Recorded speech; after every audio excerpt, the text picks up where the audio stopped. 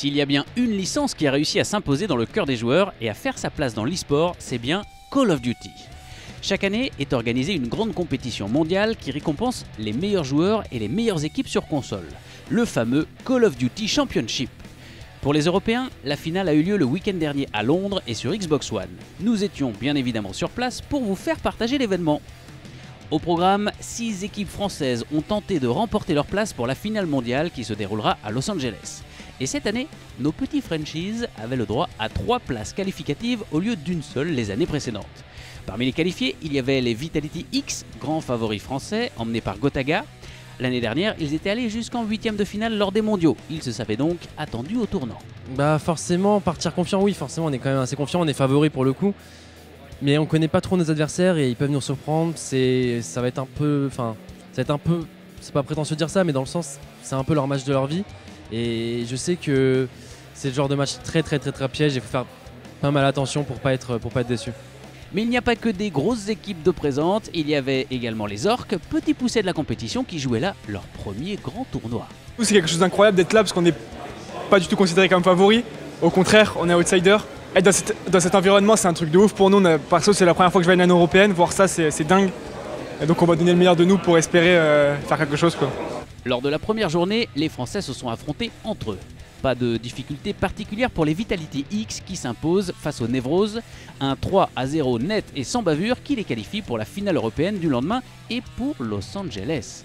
Malheureusement pour les Orques, le match contre les Hyper Games ne s'est pas très bien passé. Largement dominé, ils s'inclinent sur un 3-0 fatal.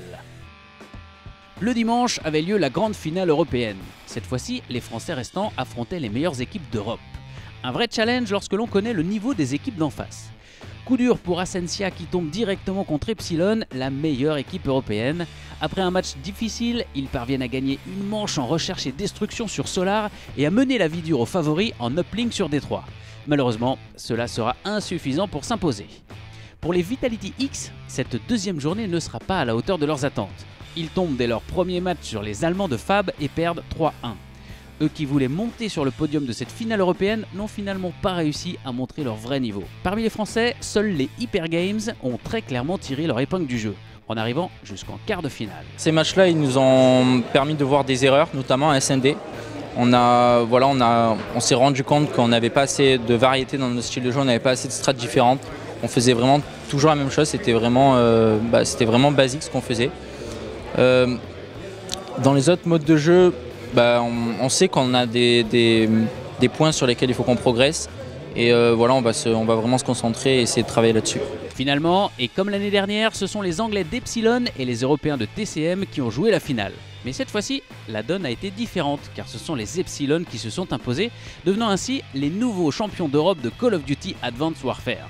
Une victoire 3-1 amplement méritée et qui annonce une compétition mondiale de très haut niveau. Pour les Français, ce sont donc les Vitality X, les Hyper Games et les Ascensia qui représenteront la France aux États-Unis fin mars.